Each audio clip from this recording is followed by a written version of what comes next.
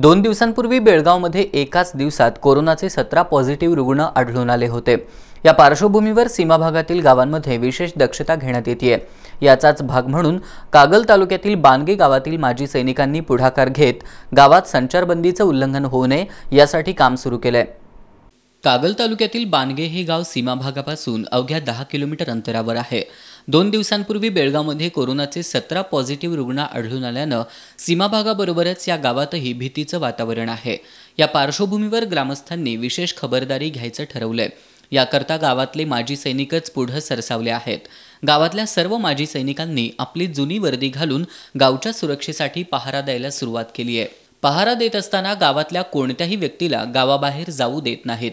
तसंच बाहेरच्याही कुणाला गावात येऊ देत नाहीत. हा खडा पहारा दोन शिफ्टमध्ये केला जातोय. या माजी सैनिकांमध्ये सत्तर वर्ष वय असलेल्या शामराव भाऊ डोंगळे यांचा समावेश पाहून सर्वजण थक्क होत आहेत. कधी काळी देशाचं संरक्षण करणारे हे सैनिक आता कोरोनाविरुद्धच्या लढाईत सज्ज झाल्याचं पाहून ग्रामस्थांचाही आत्मविश्वास चांगलाच दुणावलाय.